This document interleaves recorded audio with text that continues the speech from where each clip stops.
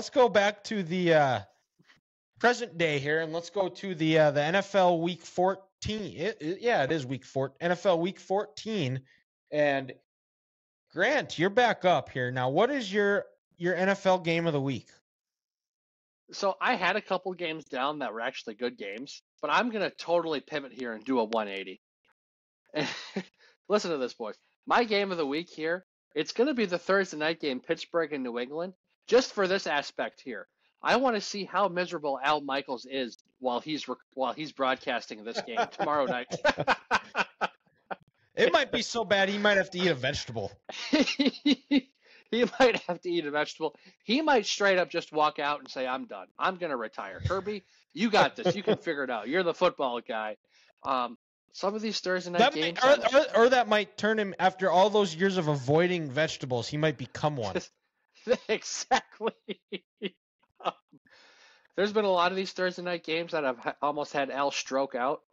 Um, he's seen some wonderful sporting events in his day, and this might be the worst one of all.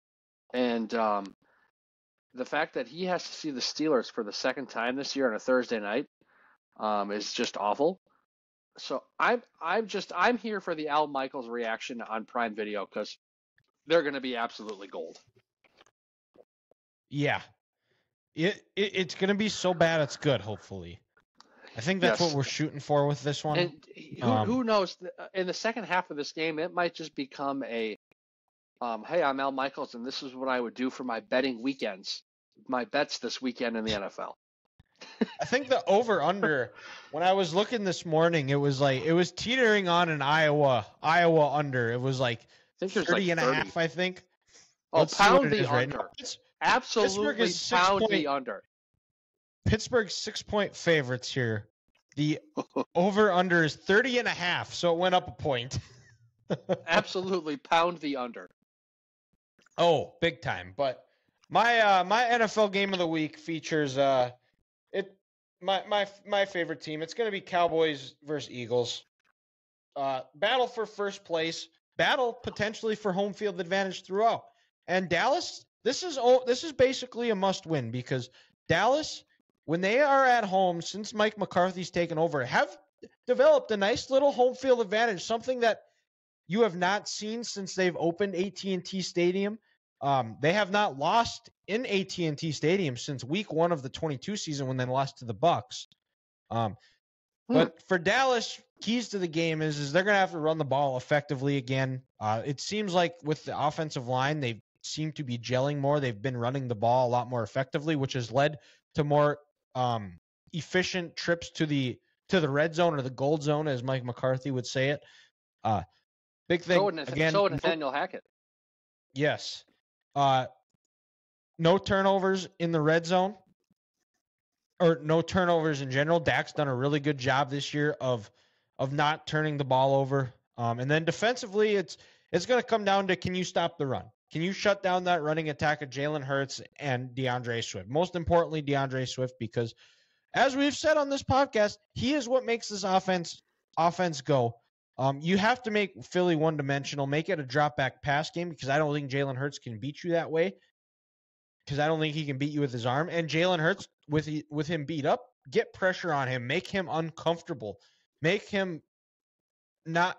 Um, don't make him. Don't let him get into a groove or make them where they're playing complementary football. Just wear them down, beat them up, beat them up, and and let the uh, Find yourself, go find yourself in first place after this. Put the pressure on Philadelphia.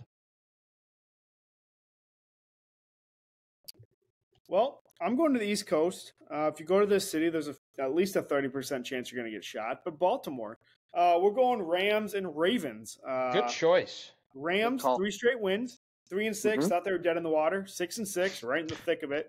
Baltimore coming off a, a bye and I think it's gonna be a great game. Uh, Kyren Williams coming back has been absolutely massive for the Rams. Their offense looks legitimate, and Cooper Kupp didn't even play well, well last week, and they put up 36 on, on a good Browns defense, uh, a good Browns defense. So if Stafford can get time, I think he can pick these guys apart a little bit, um, and they'll be able to put points up.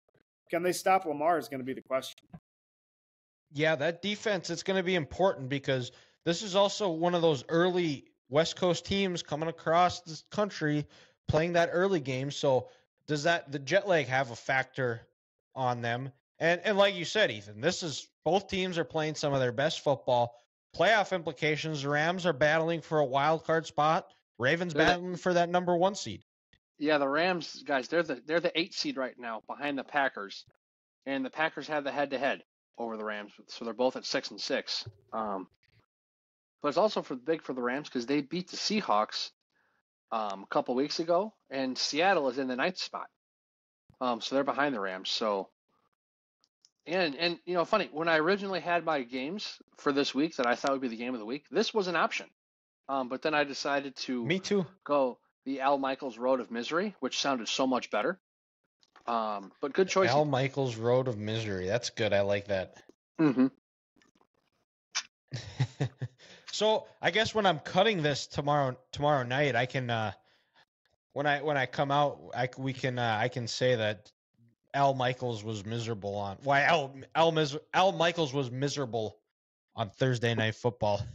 That is correct. But sure. That in the words of up Jabrill, some in the words of Jabrill Peppers, man, we ass.